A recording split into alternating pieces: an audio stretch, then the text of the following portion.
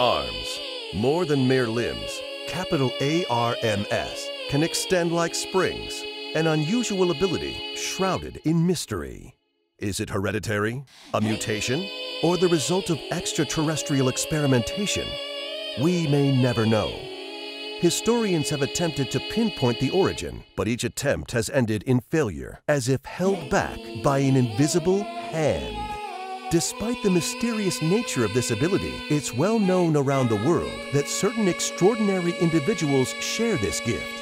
Many of them are actually quite famous for using their extendable arms as professional fighters in the combat sport also known as ARMS.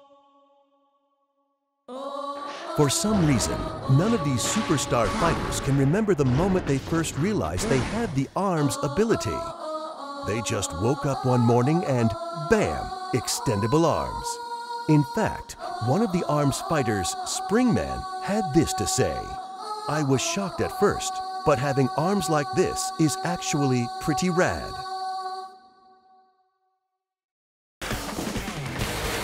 Oh yeah, I'm Biff, your trusty ARMS commentator. Today we're bringing you another non-stop volley of ARMS action. So expect a healthy dose of stretchy limbs and of course, fisticuffs. But first, it's time for ARMS 101. School's in session and this advice always comes in handy. When selecting arms, pay attention to two things, weight and attributes. It may seem like a no-brainer, but weight affects momentum. Arms generally follow these trends. Stronger arms are more powerful, but also slower. For multi-hit arms, the power of individual hits is low. Sometimes punches may even run into each other. If your arm is of the same weight or heavier, you can block punches. So you have to choose whether to dodge a punch or block it with your own. If you know the weight of the arms you're using, victory is always within reach, and your chance of winning greatly increases. But what about arms attributes?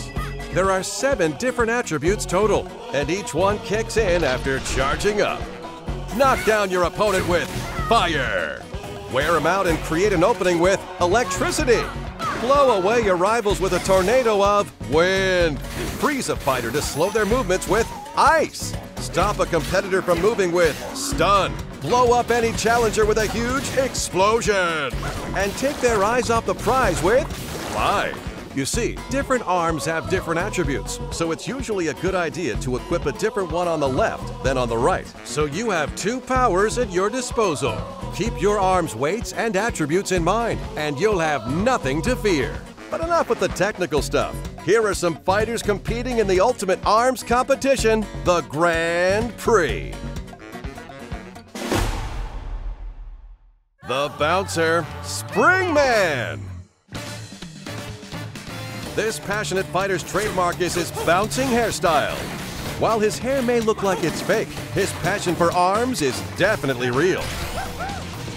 His dash, the shockwave, that he can unleash once charged, and the indomitable spirit he shows under pressure make him extremely popular with kids. Here are his signature arms. The toaster can be charged to unleash a flaming punch. The boomerang flies in a curve through the air and blows enemies away after charging. And the tri-bolt shoots three bolts horizontally. Try attacking from the front with a tri-bolt, then from the side with a boomerang. How's that strike you? The Scrapyard Scrapper, Mechanica. A fighter in the Arms League without stretchy arms? She must be a genius, and she's out to prove it by joining the ranks of the arms fighters she admires so much. Her handmade fighting suit is equipped with a hovering function, a perfect fit for a girl who dreamed her way to the top. Just look at her. Who wouldn't want to cheer for this girl? Here are her signature arms. The revolver shoots electrified bullets. The whammer may look cute, but it hits hard. And the homie is a dangerous arm that chases after opponents. stop your rival with a stunning revolver and a whammer with the shock attribute for non-stop attacks. It's scary effective. The student of stealth, Ninjara. This ninja in training, currently attending Ninja College, is competing as his senior project. Wait, aren't ninjas supposed to be hidden? You'd think competing in a worldwide tournament would kind of go against that, but uh, doesn't seem to phase him. His opponents, on the other hand, well, he totally overwhelms them with his nimble movements and ancient ninjutsu. He can disappear, even in midair or when guarding. Here are his signature arms. The Chakram can go around opponents and attack them from the side. The buff pops up after a charge and curves pretty well. And the Tri-Blast requires a delicate touch. Once charged, it blows stuff up. While blocking attacks from the side with a Chakram, try blowing up your opponent with the Tri-Blast. The Grim Creeper Master Mummy. This poor fellow woke up at the mausoleum with a goal worth fighting for, locating his long lost family. His rock hard bond won't move a muscle when hit by an average attack, and his sneaky bandages restore health while guarding. Bet on this guy wrapping up a win. Here are his signature arms. The Megaton is big, heavy, and slow. And it's even bigger when charged. The Retorcher is a fire cannon that shoots three bullets at a time. And the Phoenix is a reliable firebird with a high arcing trajectory. Lure him into a counterattack with the Retorcher, then hit him hard with a Megaton. Now that's a sweet strategy. A new challenger just signed up for the Grand Prix. The Speed Demon, Kid Cobra. This charismatic snakeboarder is joining the battle. His goal? Increasing viewership of his radical live streams. And what better way is there to increase views than to enter the Grand Prix of Arms? And I mean big ol' arms like a boa constrictor. His strong body has been trained for snakeboarding, letting him slither like a snake on the ground as he pounces on opponents with charged up consecutive dashes. Here are his signature arms. The Slamamander is a whip-like punch infused with wind power. The Hydra shoots three vertically aligned bullets, perfect for cornering fighters. And the Coolerang is one ice-cold attack with a wide arc. Swing sideways with a Slamamander, watch as the opponent jumps, then take him down with the vertical slice of a Hydra.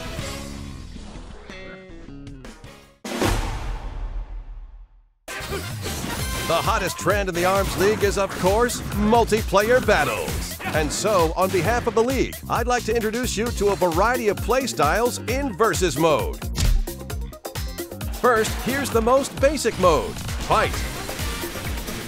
During the fight, bombs and healing items drop in, sending all fighters on an emotional roller coaster. In two-on-two 2 team fights, team members are chained together by strings, so allies will be more closely knit than ever. Punches can accidentally hit your ally, and teammates can even get blown up together too, so be careful. V-ball is a sport that's all about knocking an explosive ball onto the opponent's court. Because your arms are very stretchy, it's okay to have your arms sticking out to the other side of the court. Winning is everything in this game.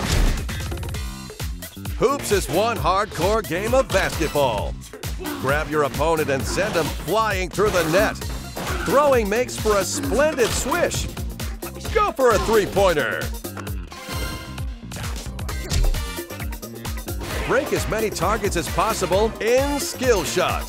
The more targets you break simultaneously, the more bonuses you'll receive. Quick reflexes are important, but mastery of arms is paramount. Enemies appear in one after another in 1 on 100. Defeat all who stand in your way, challenge your limits, and most of all, keep punching. The ARMS test lets you try out randomized arms combinations, and training mode lets you practice a number of varied drills. It's a crash course in brute force.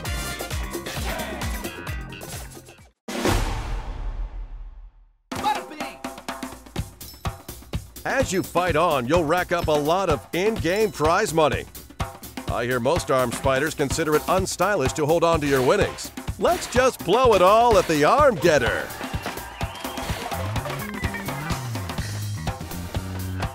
Every now and then you may get an arm you already have. But don't give me that sad face. I don't understand how it works, but somehow duplicate arms you receive have a higher attack power.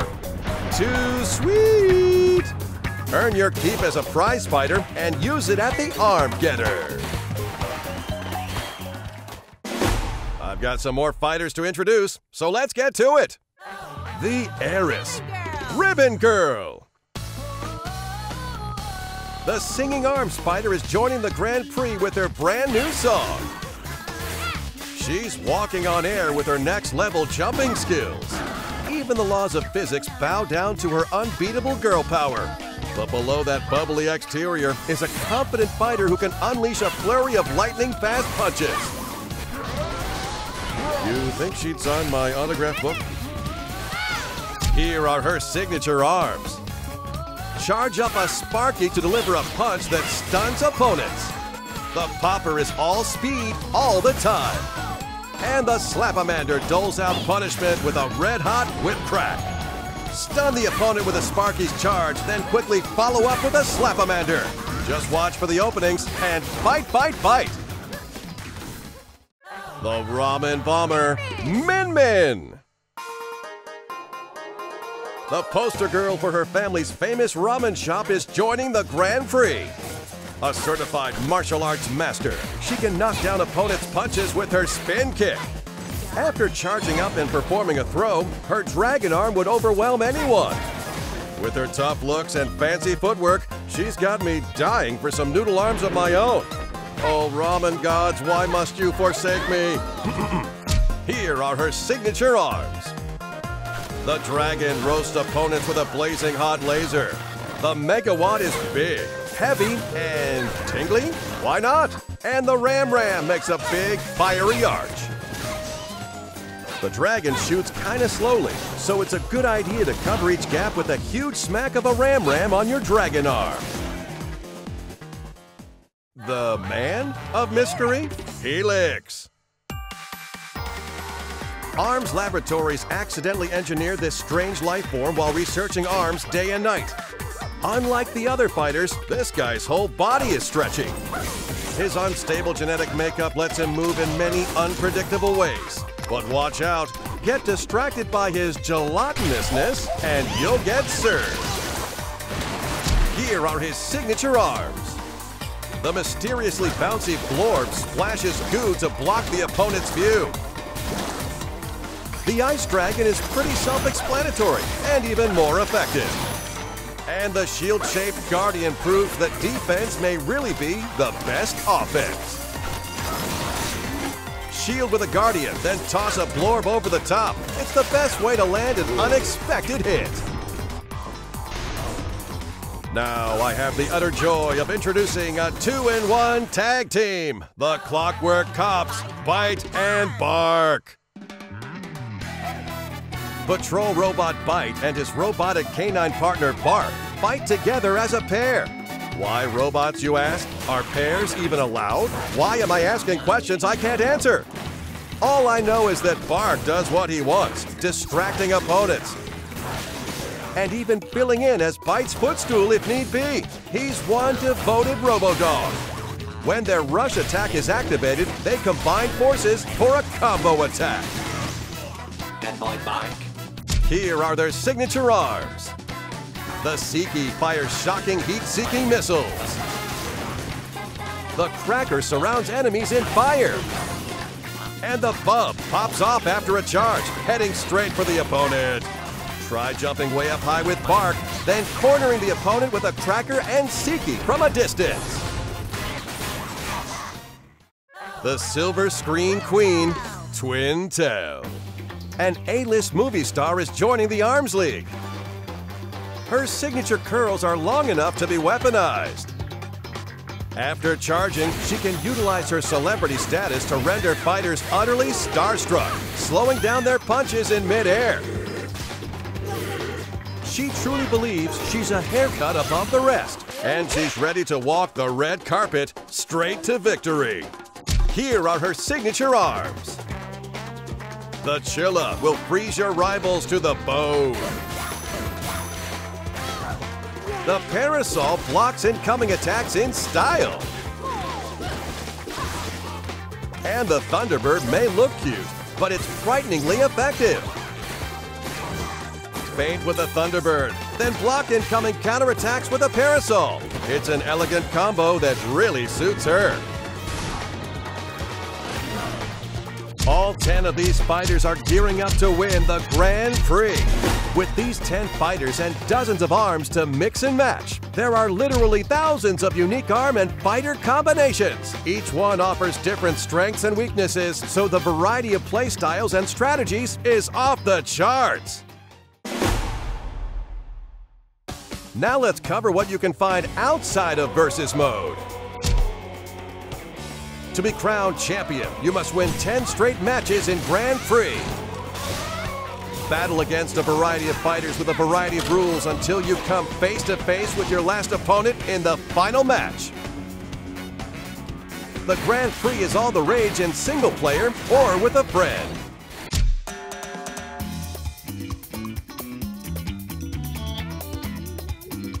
Connect your Nintendo Switch to the internet to challenge fellow players in Party Match. You'll play with others in the same lobby.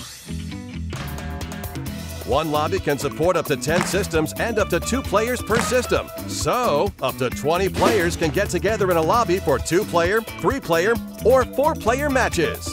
The Arms League will divide you into groups automatically, so even if you're shy, there's no need to worry. You can enjoy the fight together.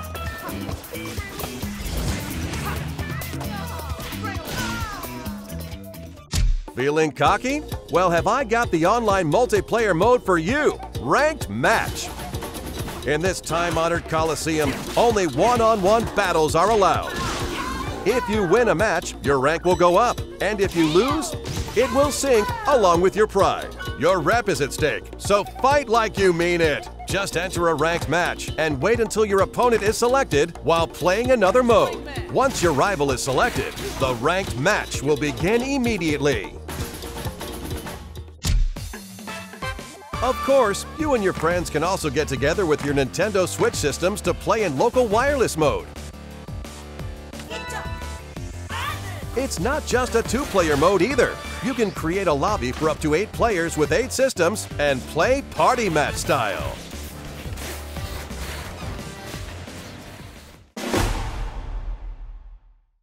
Well, fighting fans, it's almost goodbye.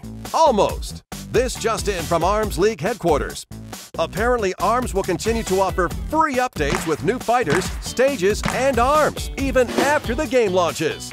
On behalf of my many bosses, I hope you'll keep playing for a long time. What's that? Something, something too far in the future to care? Well, for someone like you, I have one more announcement. On these dates, we'll be holding an online demo event called the ARMS Global Test Punch! If you're thinking of joining the fight, please check out Nintendo eShop after this video, which is now. That's it for today. Thanks for watching. See you soon.